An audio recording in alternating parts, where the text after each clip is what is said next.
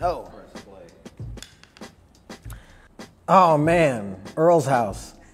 Earl's house. Okay, so this is my uh, my next door neighbor, and before I even explain this piece, I got to explain Earl. He is um, with, with without Earl, I I'm not sure where I would be. Earl was our next door neighbor for quite some time.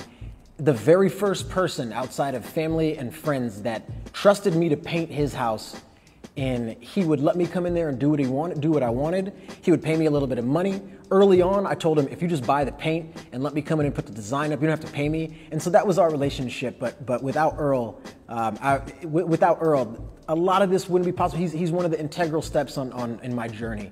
Uh, but for this bathroom, man, he wanted he wanted something something kind of fun in the bathroom, and I told him I had this idea of uh, putting some uh, I had this idea of, of putting some, some, some, some shapes on the ceiling. So I put a bunch of squares and rectangles on the ceiling, and it's a little half bathroom, so I call it the skybox. And the reason being is because there's just a bunch of boxes in the sky if you're just kind of looking up that way.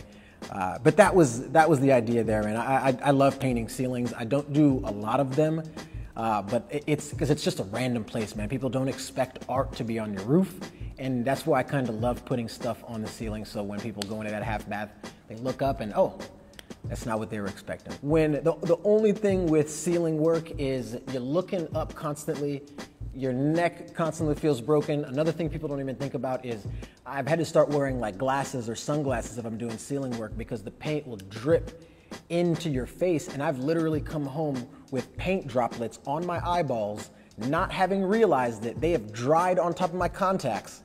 And Vera is like, bro, go go change your contacts. Like you've got paint literally on your contacts. So, uh, yeah, I, I do love painting ceilings. It is it is it's it's literally neck breaking though.